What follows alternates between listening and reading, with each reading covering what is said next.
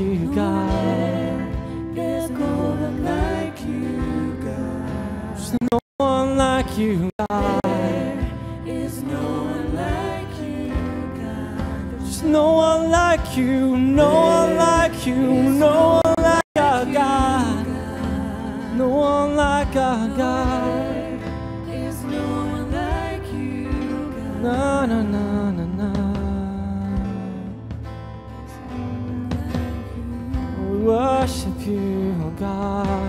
give you our hearts. We have our hearts open to you, Jesus. Just to fill. Na na na. We worship God. Na na na na.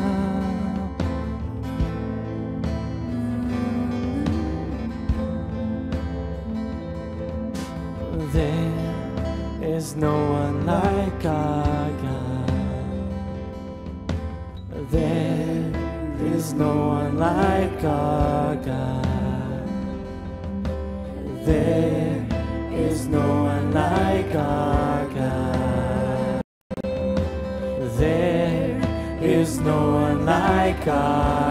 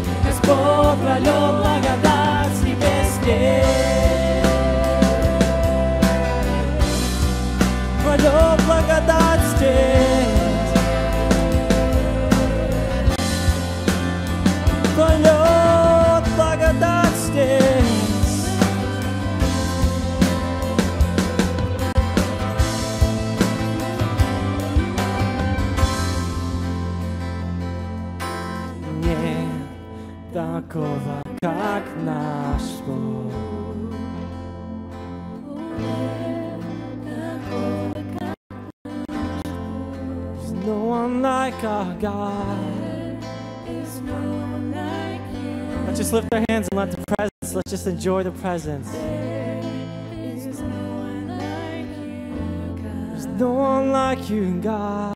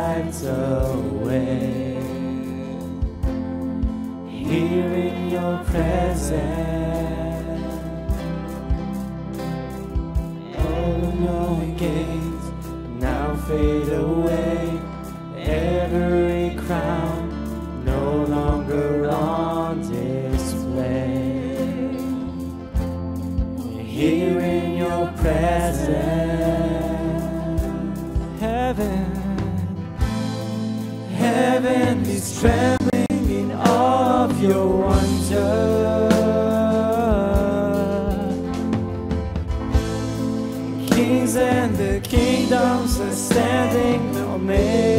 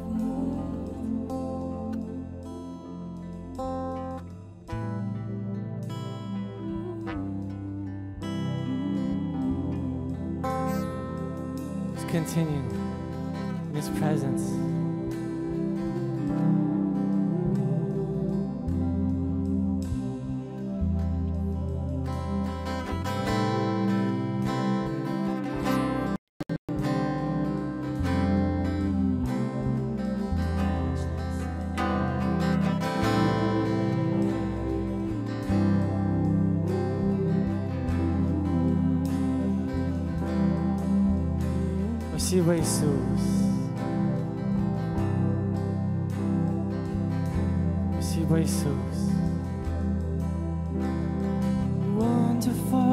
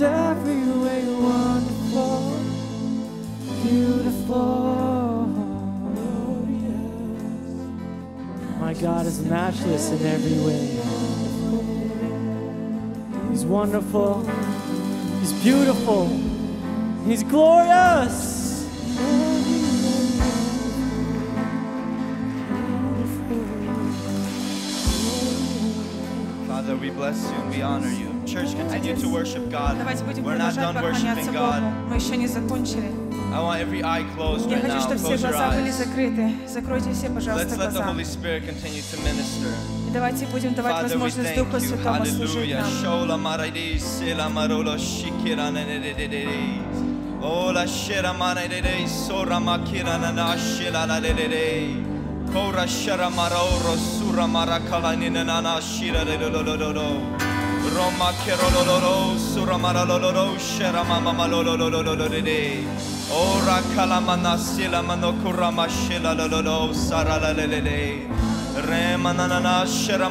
sekila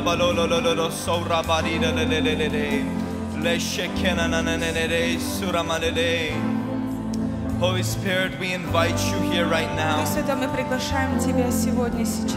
We acknowledge you as the director of this meeting. Мы знаем, что Ты есть руководитель этой, этого собрания. You are in charge here. Ты главный здесь. Father, we bless you. Отец, мы благословляем Тебя.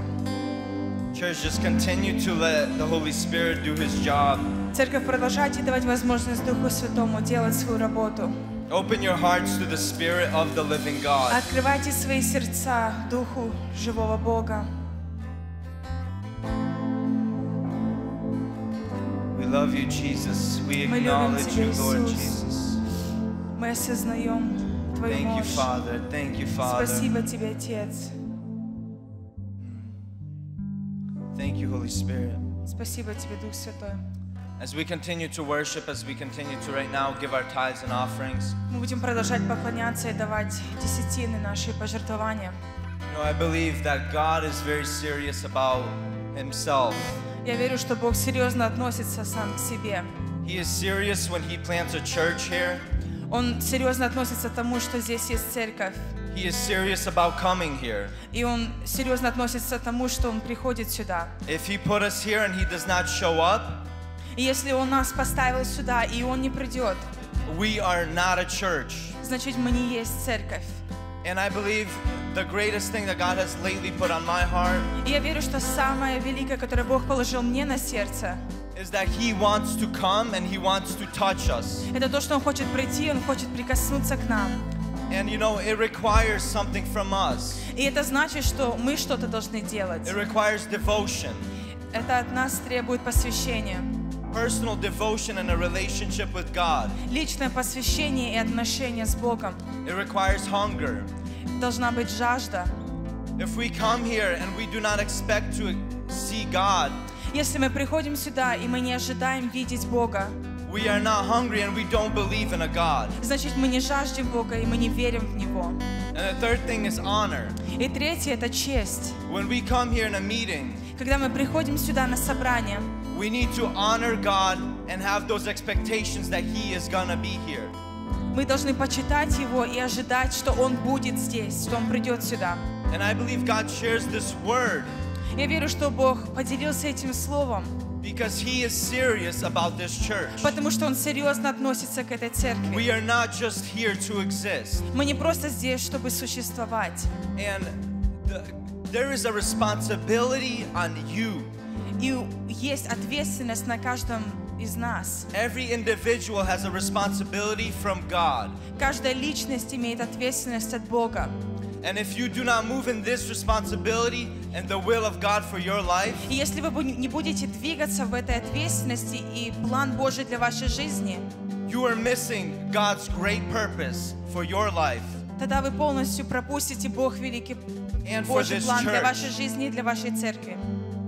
And God, you know, God loves us and He, like I said, God is serious. Знаете, Бог любит нас, и Бог серьезен насчет этого. Don't let the responsibility that God has placed on your life to just go by. Не дайте, чтобы эта ответственность, положена Богом, просто прошла мимо вас. You know, eternity is right around the corner. Вечность уже близко.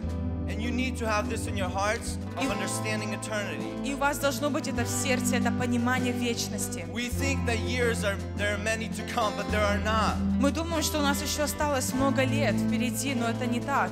And we're so close to the end. Мы уже настолько близко к концу. It's not it's not even funny anymore. Это уже даже не смешно.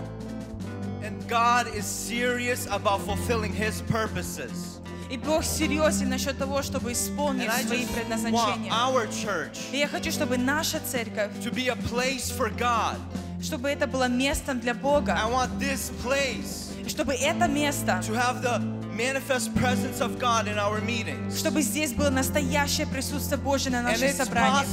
И это возможно. And God shows up to people that care about Him. И Бог является людям, которые заботятся и хотят Его. A sacred God does not show up where people don't care. Святой Бог не приходит туда, где людям безразлично. He requires our hearts. Он нуждается в наших сердцах.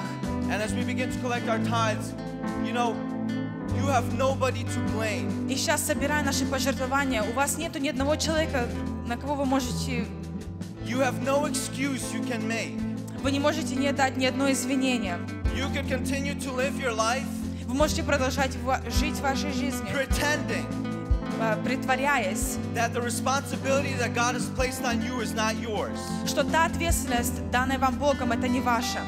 And you will miss God И вы пропустите Бога, and you will live your life without God. и вы будете жить вашу жизнь совершенно без Бога.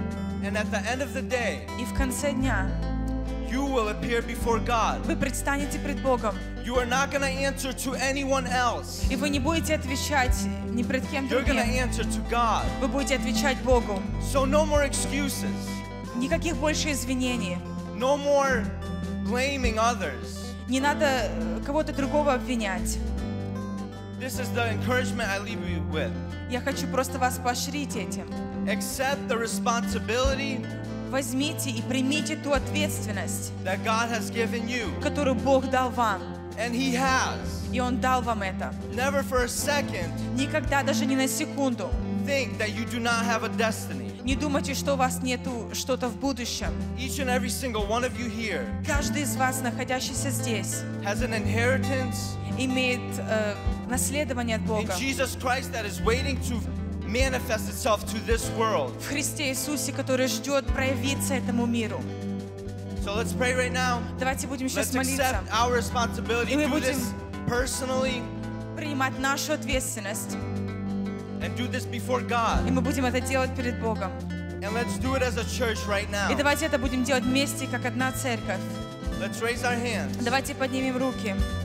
Dear Jesus, Дорогой Иисус, Holy Spirit, Дух Святой and Father, и Отец, we accept the мы responsibility принимаем ответственность, that you have placed on this church. которую Ты положил на эту церковь. We desire to move forward Мы желаем идти вперед, as a body, как одно тело, united in Jesus Christ. одно в Христе Иисусе. And Holy Spirit, we ask that you be the author of this place. И Дух Святой, мы просим, чтобы Ты был автор этого места. We acknowledge you and we thank you, Lord Jesus. Мы благодарим Тебя, Дух Святой. To you be all the glory Тебе пусть будет вся слава and the honor и вся честь forever and ever. во веки Amen. веки. Аминь.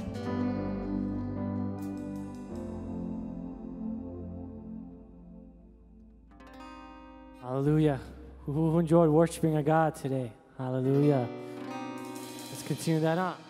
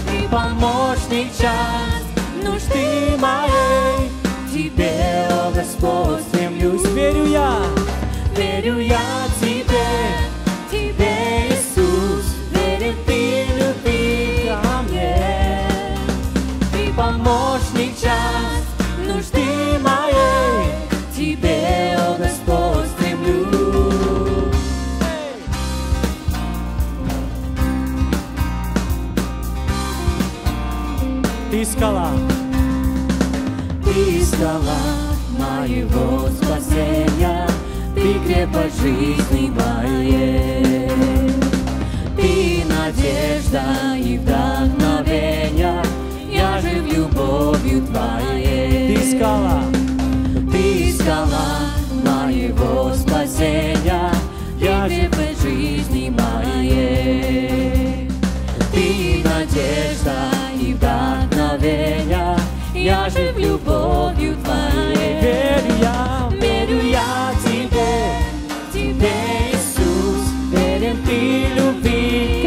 мне.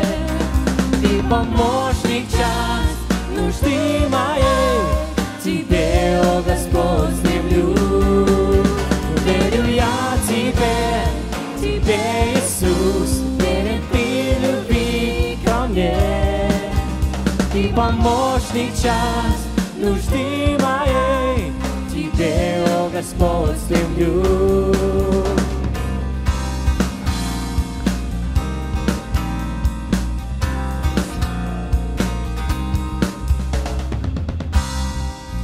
Amen.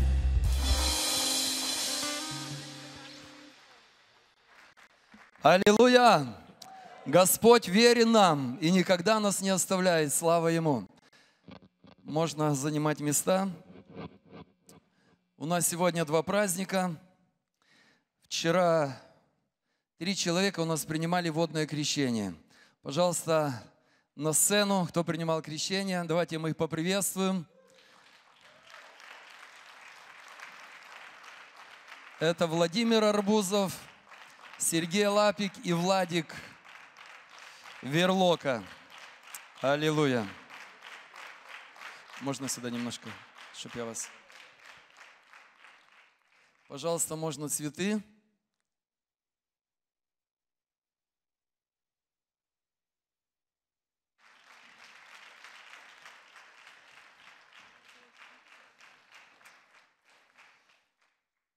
Мы вам вручаем земные сертификаты.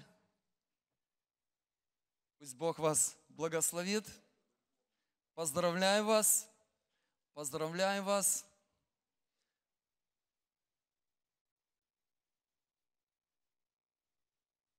Самое главное, что ваши имена записаны в книге жизни. Аллилуйя. И так как сегодня Давид говорил, у Бога для вас есть план, у Бога для вас есть предназначение, у Бога для вас есть призвание. Бог вложил в вас дарование, и Бог имеет план для вашей жизни, и Он верит, что вы это сделаете. Поэтому мы помолимся, чтобы Господь ваше решение утвердил, чтобы Божья благодать всегда была с вами, чтобы вы были Божьими героями в это последнее время на этой земле, чтобы куда вы будете приходить, чтобы с вами приходил Иисус, чтобы люди, общаясь с вами, могли переживать реального живого Бога, чтобы Бог устроил ваши жизни, ваши судьбы, дал вам хороших жен, прекрасных детей, и чтобы вы, исполнив волю Божью на земле, получили корону славы на небесах. Аминь. Давайте мы поднимемся и благословим наших друзей. Дорогой наш Небесный Отец, мы благодарим Тебя за Сына Твоего Иисуса Христа, который пролил свою кровь на Голговском кресте, который умер за наши грехи и воскрес для нашего оправдания. Иисус, мы благодарим Тебя за Твою победу. Иисус, мы благодарим Тебя за Твою смерть. Мы благодарим Тебя за Твое воскресение. И мы благодарим Тебя за то, что Евангелие Твоего Царства, оно достигло наших друзей, их сердец, Господь, слава Тебе. За то, что Ты прикоснулся к их сердцам, за то, что Ты открыл им себя, за то, что Ты привлек их к себе, за то, что Духом Святым Ты вселился в их сердца. Отец, благодарим Тебя за благословенный план для их жизни, за благословенную судьбу, за призвание, за помазание, за дарование, за меру веры, Господь, слава Тебе. И мы сегодня призываем Твою благодать, мы призываем Твои благословения, мы провозглашаем Твою защиту. Пусть Твои ангелы оберегают их и охраняют на всех их путях во имя Иисуса Христа. Пусть Дух Святой могущественно действует в жизни каждого из из них для Твоей славы. Да будут они Твоими героями, да будут они представителями Твоего Царства. Пусть жизни их прославится Твое имя, возвеличится Твое имя во имя Иисуса Христа. Мы благословляем их. Отец, возьми их в свои сильные руки, и мы знаем, что с Твоей руки никто их не похитит. Слава Тебе! Мы воздаем Тебе честь, мы воздаем Тебе славу и хвалу нашему Царю и нашему Богу во имя Иисуса Христа. И все сказали Аминь. Да благословит тебя Господь и сохранит тебя. Да презрит на тебя Господь светлым лицом своим и помилует тебя. Да обратит Господь лицо свое на тебя и даст тебе мир. И все сказали Аминь. Будьте благословенны. Садитесь, пожалуйста. Welcome Божью семью. Еще один праздник у нас. У нас есть молодая пара, которая прожили в браке 15 лет. Это семья Крашенинников. Игорь и Лена, пожалуйста, на сцену, если вы есть. Мы вас желаем поприветствовать и поздравить.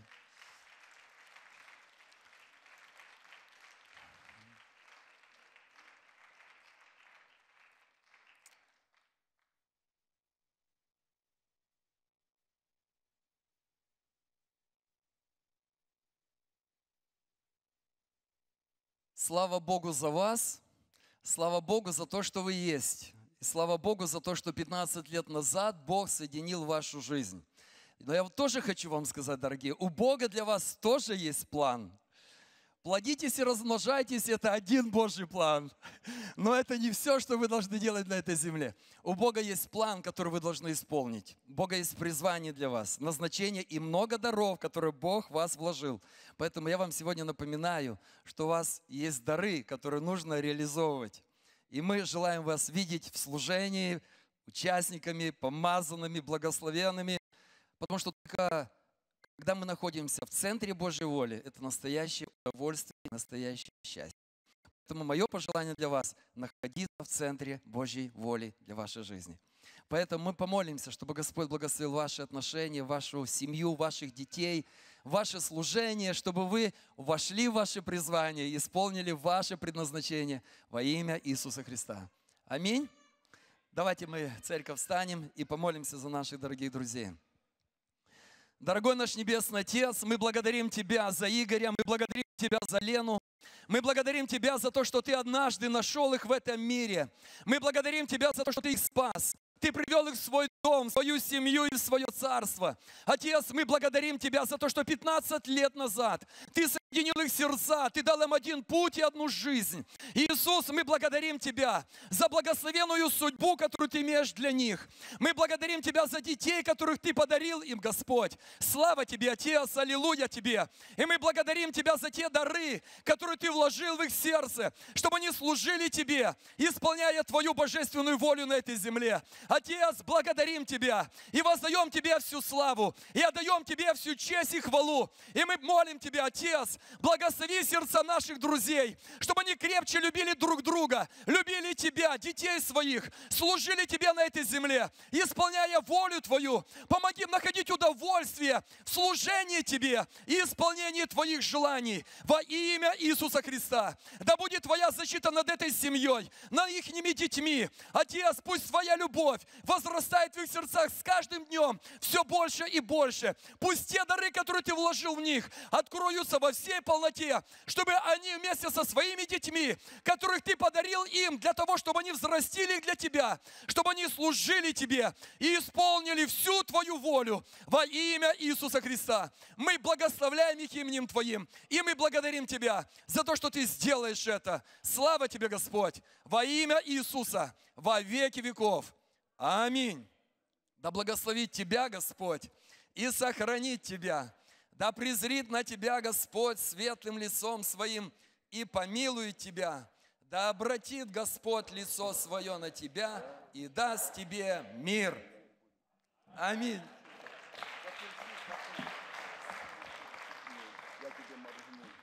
Пожалуйста, присаживайтесь, мы будем слушать Божье Алло. Слово. Пусть ваше сердце будет готово, ожидайте Слова от Бога.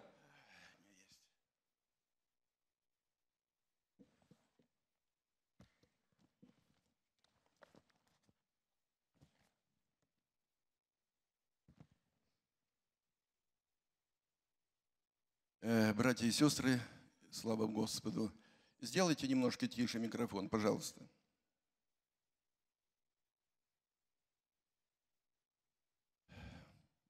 Господь нам даровал прекрасный день.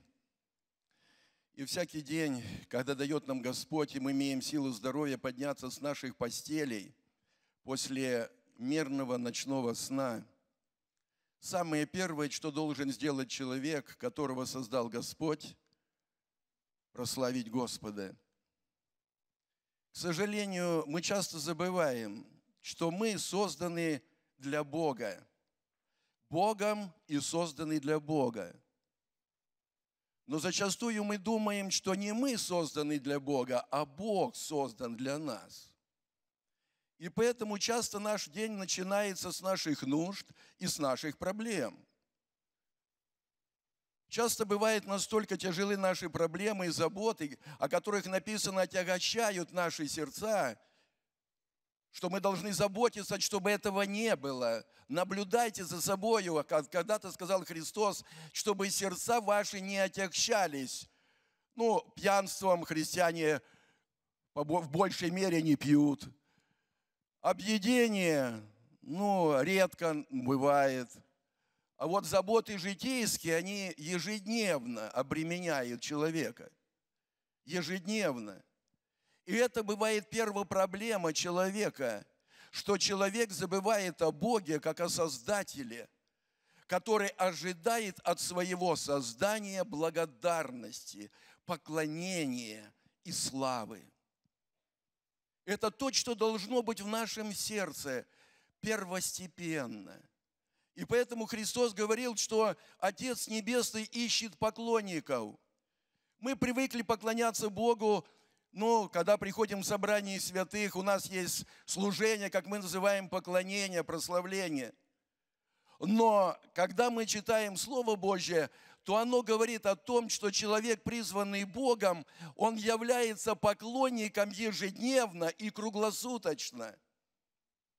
И это поклонение, оно должно быть в духе нашем, исходить из сердца нашего – Почему зачастую этого не бывает? Я хочу сегодня об этом немножко проповедовать. И я верю, что то слово, которое сегодня Господь будет говорить, может быть, через мои уста, мое сердце, я верю, что это самая актуальная тема последнего времени для церкви.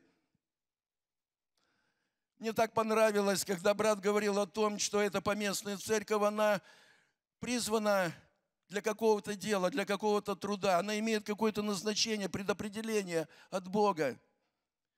Чтобы вот это предопределение исполнилось, нам нужно иметь определенные чувства или состояние пред Богом. Давайте, пожалуйста, откроем книгу Откровения, вторая глава.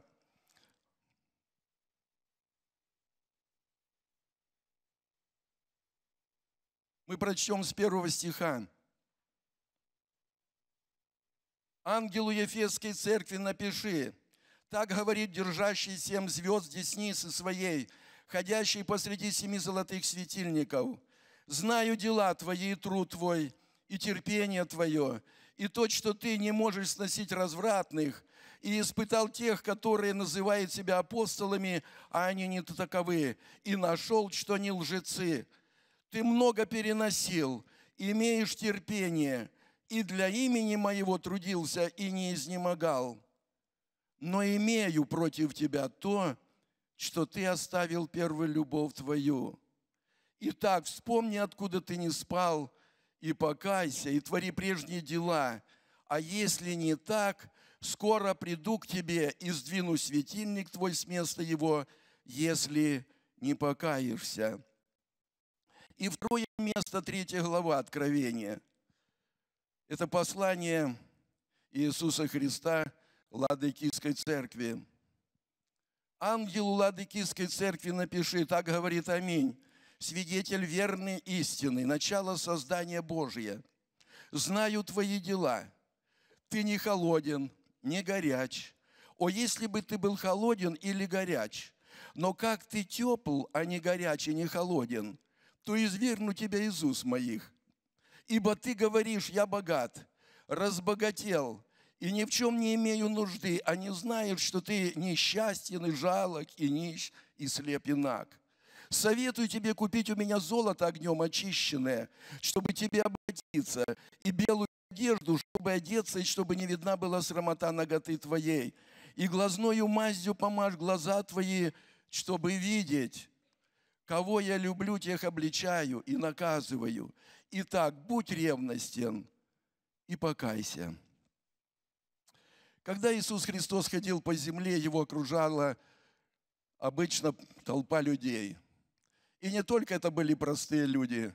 Там были фарисеи, законники, садукеи, то есть разных партий люди, и они постоянно своими вопросами его искушали. И вот когда мы читаем Евангелие от Матвея, 22 глава, что написано, я прочту с 35 стиха, что один законник, искушая его, спросил, говоря, «Учитель, какая наибольшая заповедь в законе?» Иисус сказал ему, «Возлюби Господа Бога твоего всем сердцем твоим, всею душою твоею и всем разумением твоим.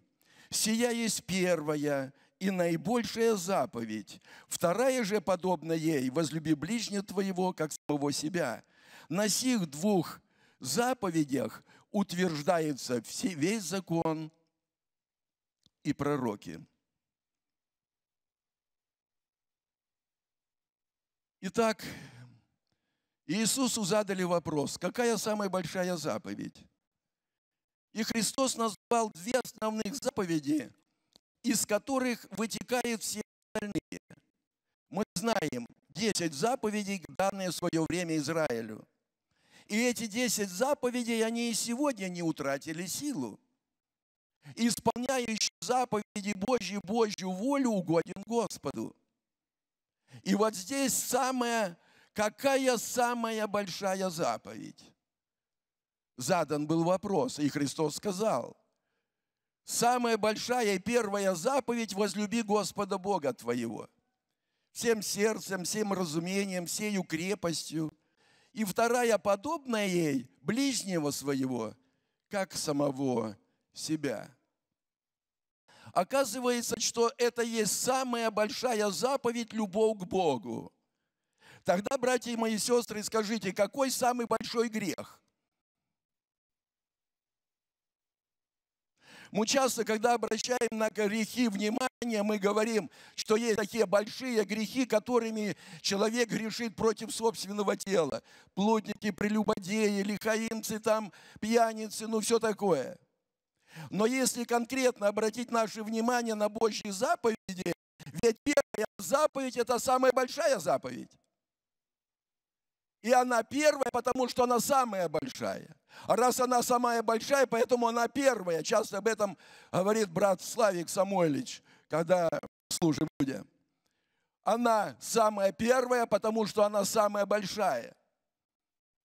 И нарушение этой заповеди – это нарушение абсолютно всего закона Божия. Вы знаете, как можно служить Богу, не любя Бога? Как можно искать Его лица, не любя Его? Как можно искать общение с святыми, не любя Бога? Но вместе с тем, сегодня мы, бывает, умудряемся, любя Бога, хотим служить Ему, поклоняться Ему, славить Его. Но Библия говорит, что я себя не люблю Бога, я очень большой преступник пред Богом.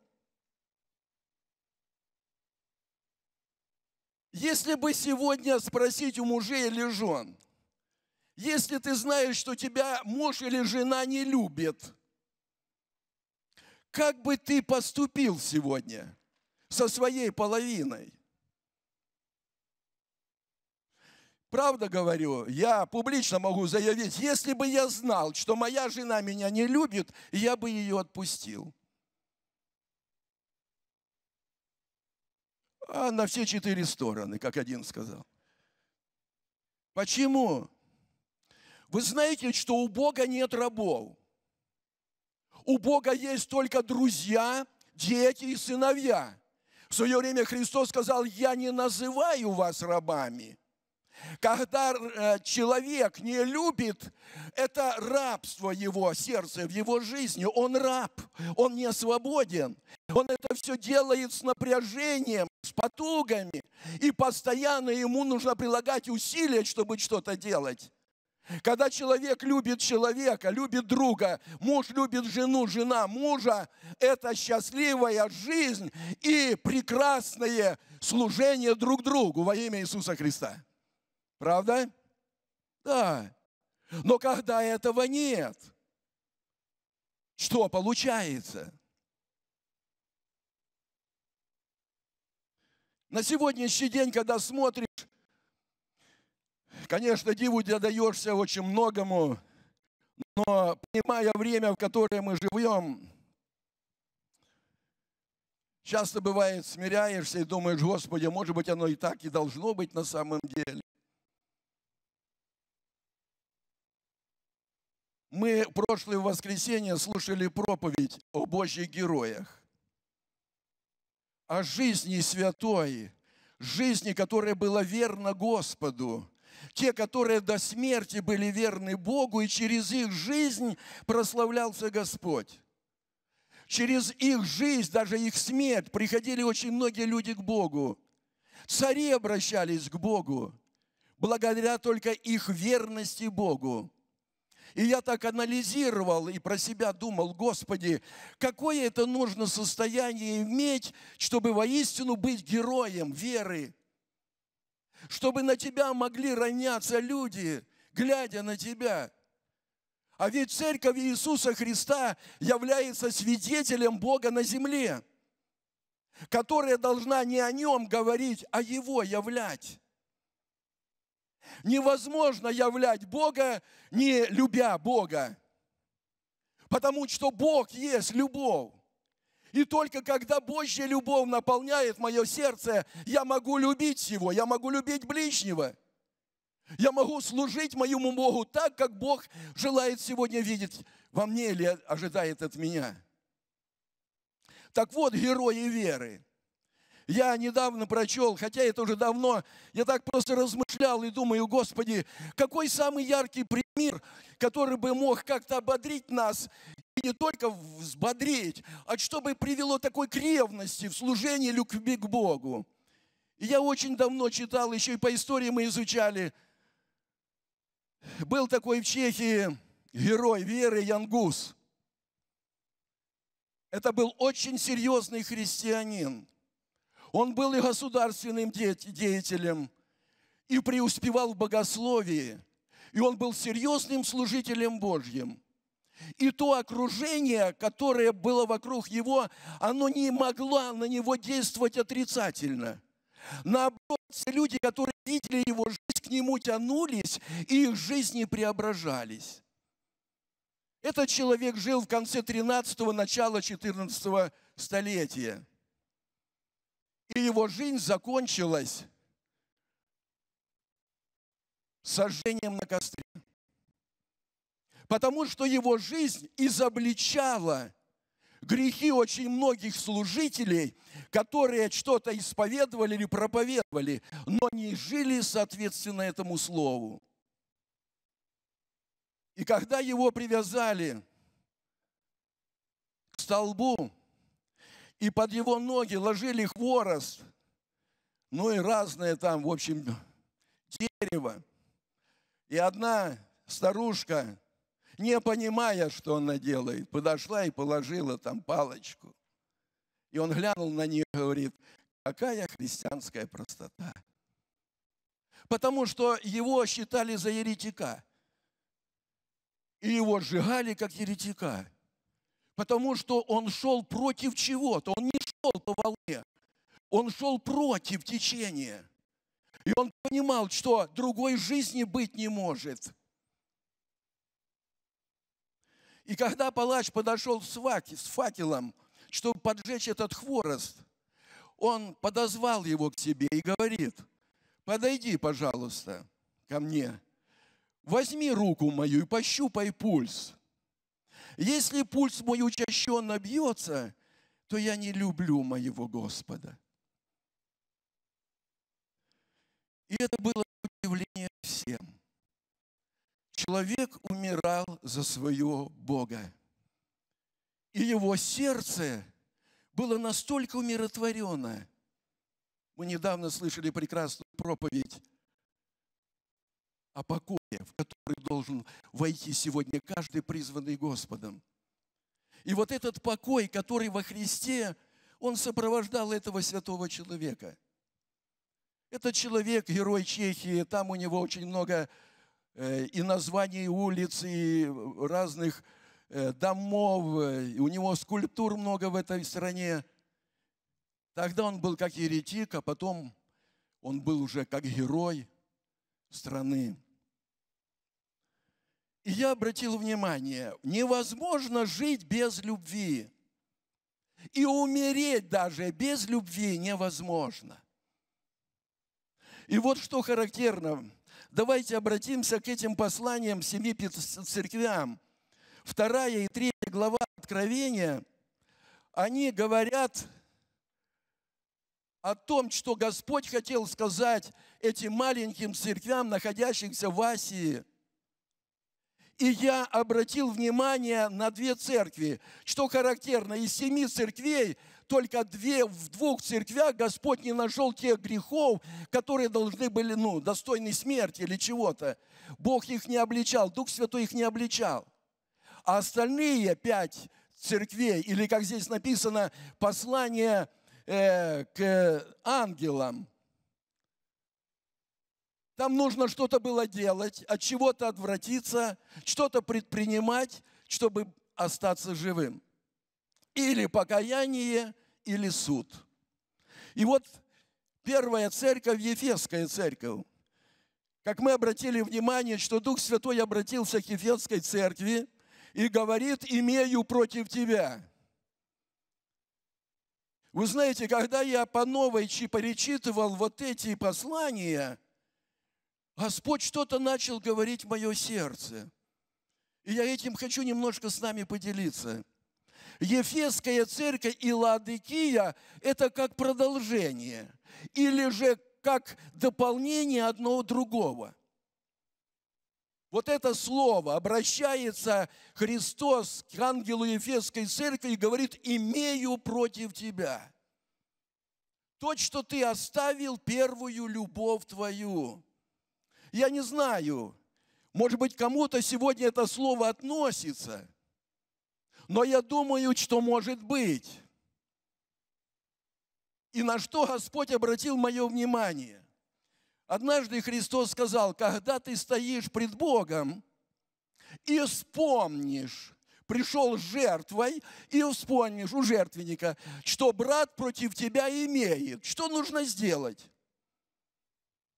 Оставь жертву у жертвенника, примирись с братом, а потом принеси жертву. Но здесь написано, сам Бог говорит, я имею против тебя. И то, что я имею, это настолько серьезно, потому что ты оставил свою любовь ко мне. А я Бог-ревнитель. Я тот, который не допущу, чтобы служащий мне не любил меня я имею против тебя. Часто бывает, до Бог говорит, я против тебя имею. Но вместе с тем мы идем, поднимаем руки, мы поклоняемся Ему, мы излагаем наши нужды, а потом сильно возмущаемся, почему Бог не отвечает нам. А на это есть причина, Он имеет что-то против нас. Поэтому прежде чем открыть уста и открыть свое сердце пред Богом, я должен испытать мое сердце. Я могу, должен внутренность, имеет против меня Бог что-то или не имеет. Когда-то Илий, священник, так сказал своим сыновьям, когда человек согрешит против человека, помолятся о нем. Но когда человек согрешит против Бога, кто будет ходатаем? Но это было в то время, это было еще до царя Израиля, Это до прихода было Нового Завета, но сегодня, слава Богу, что между нами и Богом есть ходатай Иисус Христос. Слава Ему. Но это только тогда, когда я понимаю свое состояние. И когда я прихожу к пред Богом и каюсь, теперь стоит второй вопрос – покаяние, вопрос греха. Вы знаете, что очень многие христиане верят в силу крови Христа. Кто верит? Что кровь Иисуса Христа очищает от всякого греха. А кто верит, что жертва Иисуса Христа освобождает от греха и восстанавливает? Я как-то читал в одном месте, такое интересно, один брат рассуждает и говорит, покажите мне человека, который борется со грехом, и я покажу вам человека, который борется с одним и тем же грехом.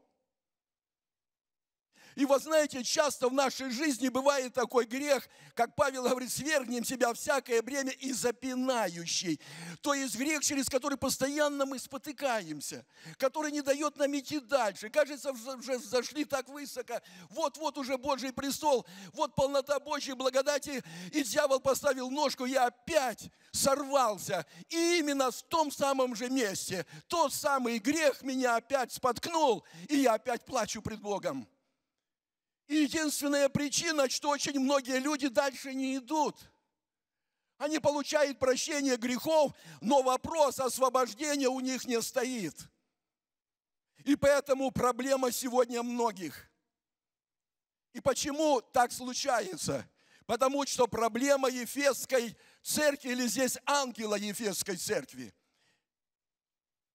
Господь сказал, я имею против тебя. Ты имеешь столько труда, трудился, не изнемогал. Здесь можно перечислять очень много достоинств человека. Но если серьезно, духовно обратить внимание на слова Божьи, то он как бы говорит, все то, что ты делаешь, оно передо мной не имеет никакого значения абсолютно. Потому что служение без любви – это совершенный ноль. Кто может сказать аминь? А кто-то скажет, а как же вера?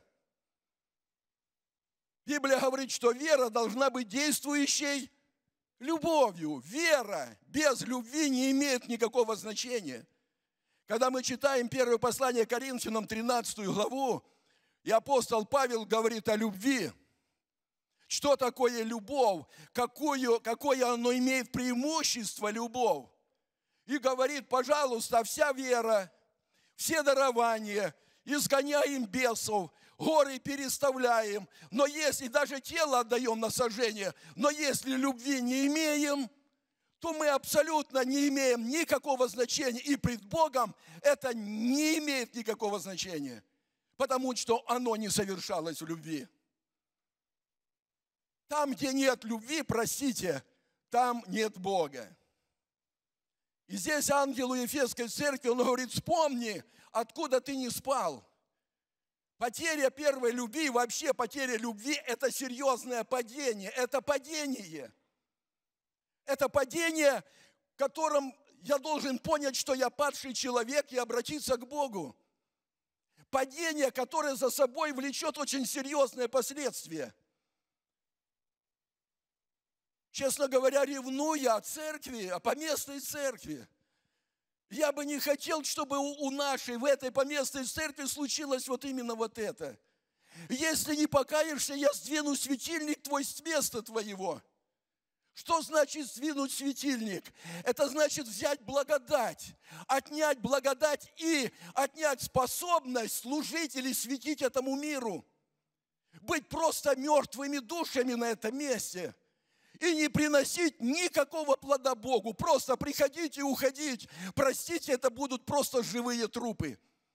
Это то же самое, что там где-то зарегистрирована наша церковь, даже в городе, может быть, в штате. Но у Бога она не числится, потому что Бог ее совершенно, ну, простите, убрал с поля своего зрения. И это очень серьезно пред Богом. Почему я говорю, что Лагидекия, Ефесская церковь и Ладыкийская, они идут, можно сказать, параллельно. Давайте посмотрим. Господь говорит Ладыкийской церкви, ангелу Ладыкийской церкви. Он говорит так, 15 стих.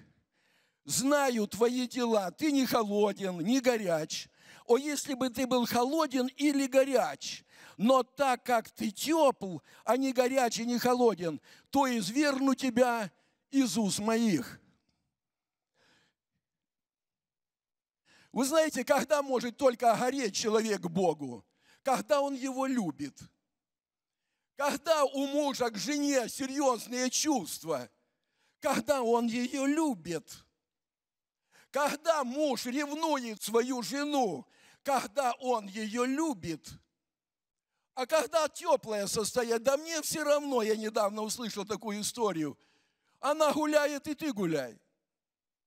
Что ты на нее обращаешь внимание? Сегодня свобода. А если он ее ревнует, он ее любит, и он ревнует, он не может стать на ее путь. Бог есть Бог-ревнитель. И Бог ожидает только любви от тех, которых искупил кровью своей. И Он не допустит другого. И говорит, имею против тебя. Ты не холоден и не горяч. Вы знаете, есть два состояния, которые могут удовлетворить Бога или удовлетворяют. Почему Бог сказал, ты не холоден? Что такое холодное состояние? Холодное состояние – это когда человек видит себя совершенно беспомощным, может быть, даже всеми отвергнутый, но вместе с тем он понимает, у него открыты глаза на его состояние, и он понимает, что ему нужно что-то предпринимать.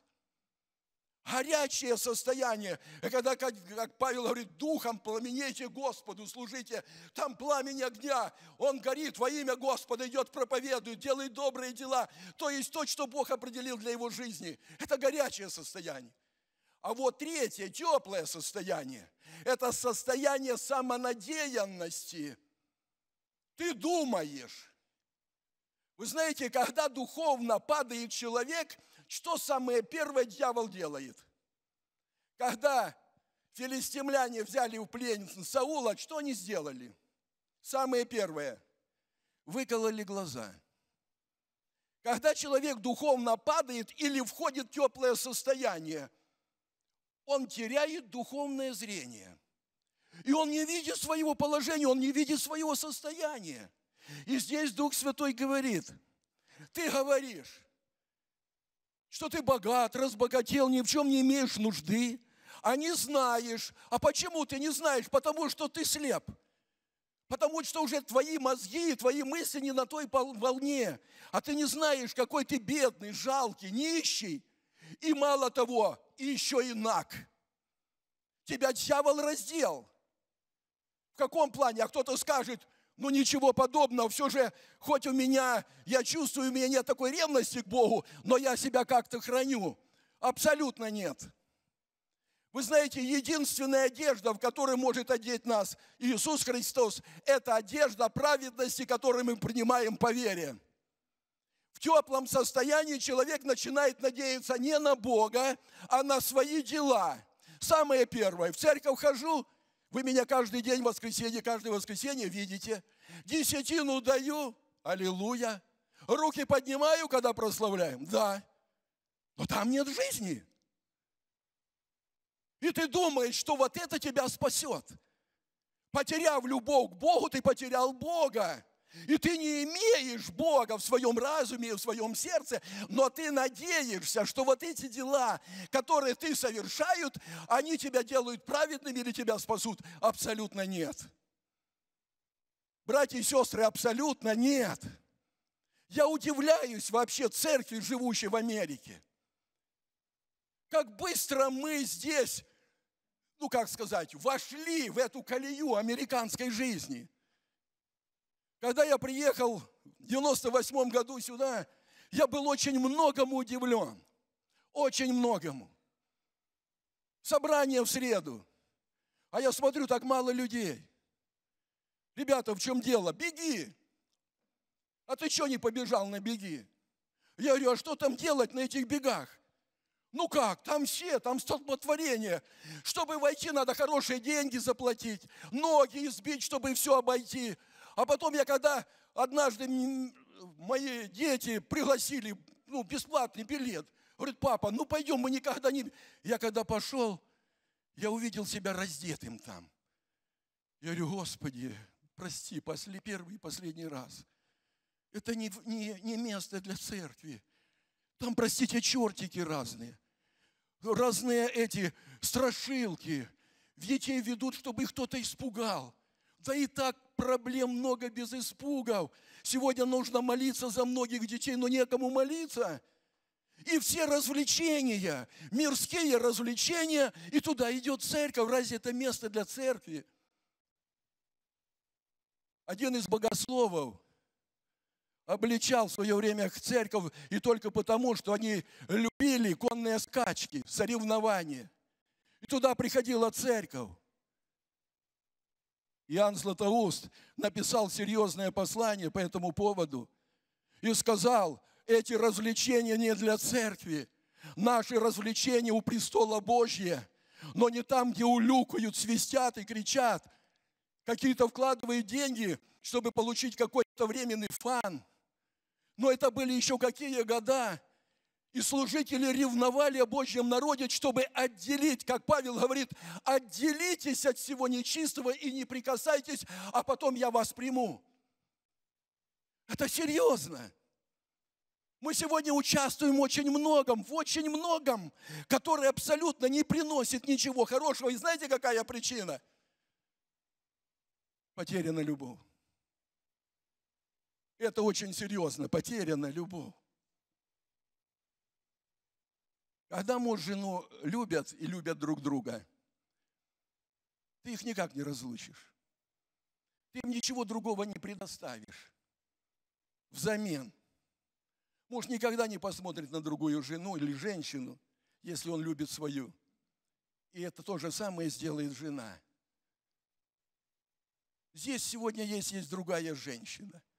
Этот мир, который часто увлекает нас – и мы прельщаемся тем, что не приносит абсолютно ничего в нашу жизнь. Зачем отвешивать серебро за то, что не хлеб? Мы платим такие деньги за билеты, чтобы войти, а потом за эти аттракционы, чтобы там что-то было. Оно нас не насыщает, братья и сестры. Нас не влечет к Богу. Вот сегодня правильно было сказано – Открой свое сердце для Бога. Может открыть сердце для Бога тот, только тот, который ревнует Боге, который желает Бога. Он будет его и, ожила, и ожидать. Давид говорит, ожидаю Господа более, нежели стражи утра, 129 псалом. Более, нежели стражи. Для него это было очень серьезно, как он ожидал. Я как-то об этом рассуждал. Что значит ожидать Бога? Это не говорит, что 10 или 15 часов что-то ему говорить. Абсолютно нет. Это говорит о том, что я стою в Божьем присутствии и ожидаю Его наполнения. Отец, я хочу Тебя. Я хочу соединиться с Тобой. Бог, без Тебя моей, мне жизни не, никакая не нужна. Я Тебя хочу. Одна причина, потому что я Тебя люблю. Почему сегодня, в среду, нет молитвенников? Почему сегодня только воскресенье, воскресенье только одно собрание? Кто-то говорит, а что, только церковь спасает? Но ведь отсюда начинается жизнь. С церкви начинается жизнь во Христе. Когда мы все вместе, когда нас влечет друг к другу, Давид в свое время говорит святым, которые на земле, к дивным твоим, к ним все желание мое. Возрадовался я, когда сказали мне, пойдем в дом, Господь. То есть, что такое дом? Это собрание святых. Это когда я люблю моего брата, сестру, и я рад видеть лицо моего брата, я с ним разделяю общение и разделяю его скорби, его нужды. Мы можем вместе помолиться, вместе поплакать и вместе порадоваться. Это есть та любовь, которая влечет нас. Я сегодня просто могу испытать мое сердце, насколько оно сегодня наполнено этим –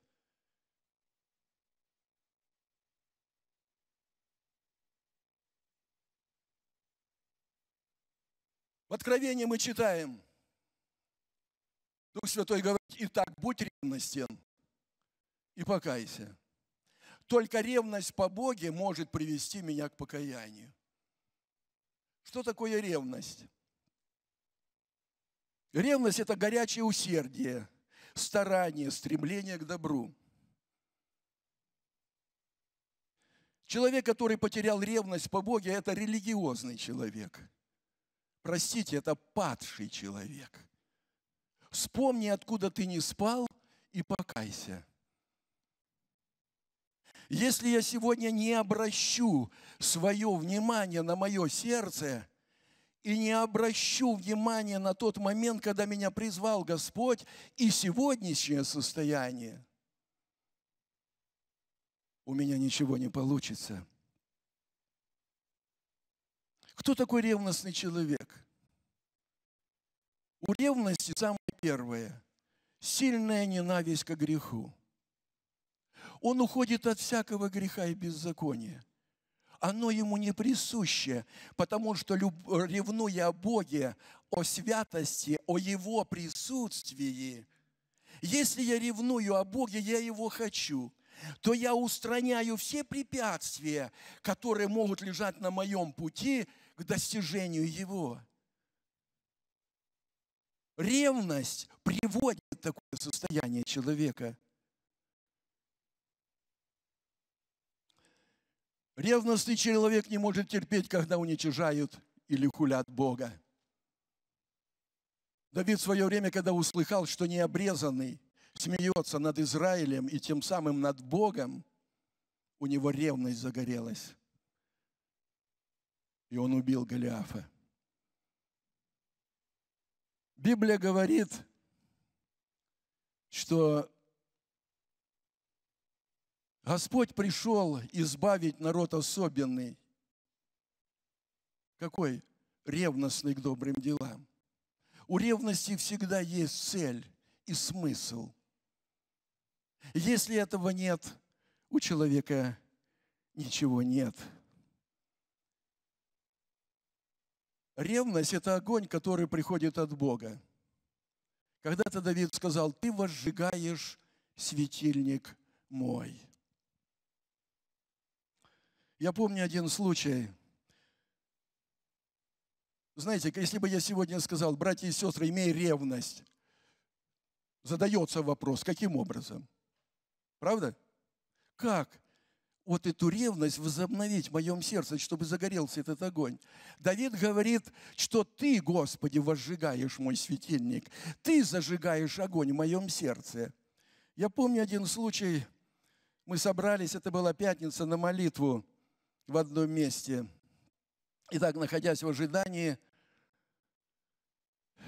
люди приходили один по одному, и вдруг заходит один человек, молодой брат, а там уже сидел другой, который уже давно пришел. И так всех рассматривал и со своей оценкой. И глянул на него и, говорит, и в сердце своем говорит, какой неревностный человек. Ну, такой, как говорят, теплый или даже, бывает, говорят, сухой. И вы знаете, началась молитва.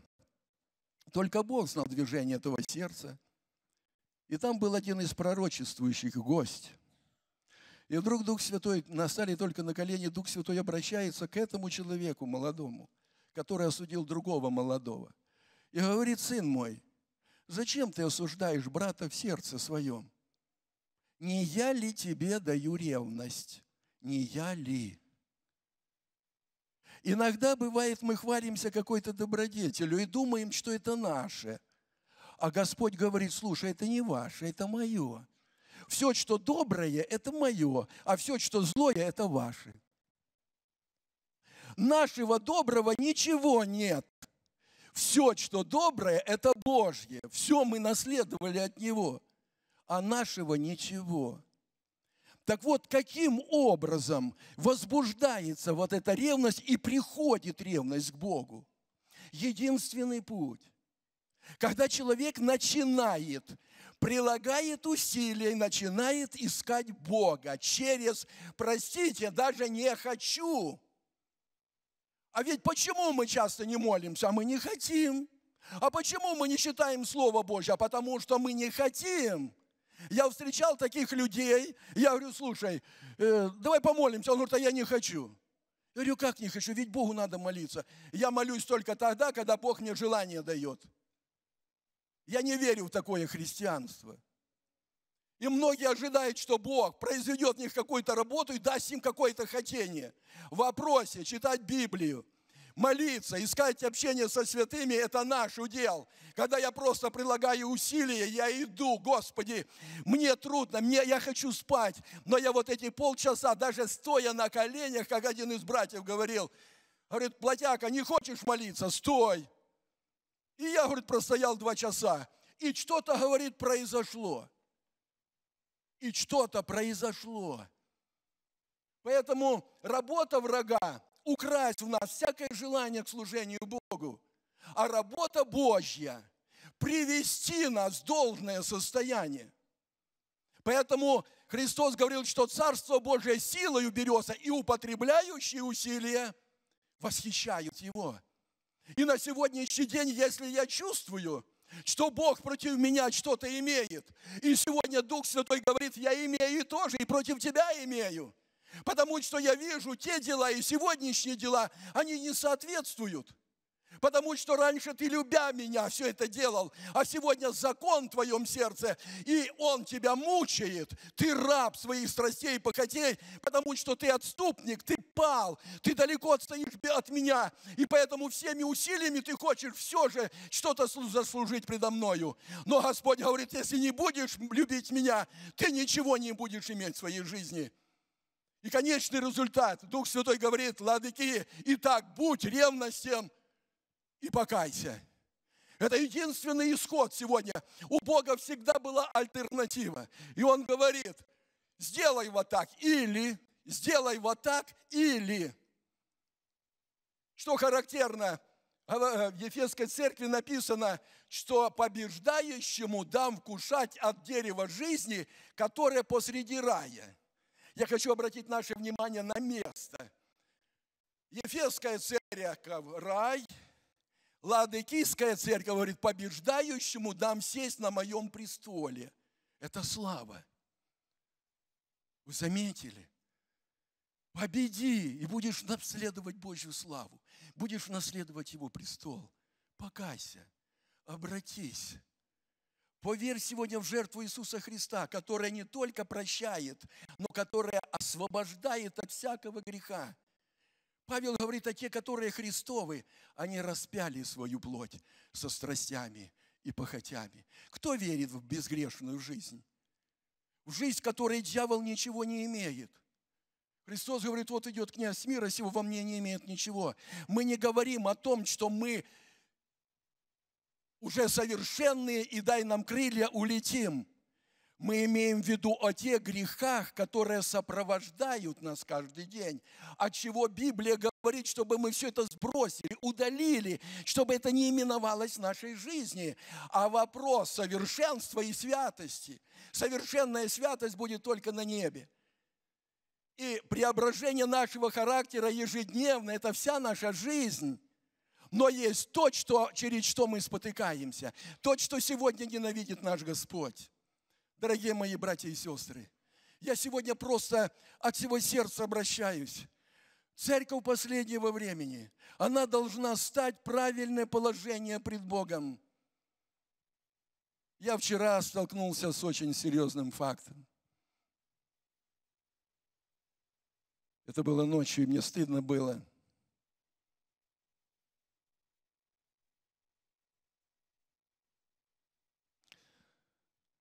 Церковь сегодня должна увидеть себя в Господе, увидеть свое назначение. Церковь – это выражение Иисуса Христа. Церковь – это исполнение Его воли и делание тех дел, которые Иисус Христос, живя на земле, совершал. Проповедовал Царство Божье, изгонял бесов, больных исцелял, прокаженных очищал, мертвых воскрешал. Это церковь последнего времени. И эта церковь каждый из нас. Да благословит нас Господь. Итак, будь ревностен и покайся. Аминь. Давайте мы встанем.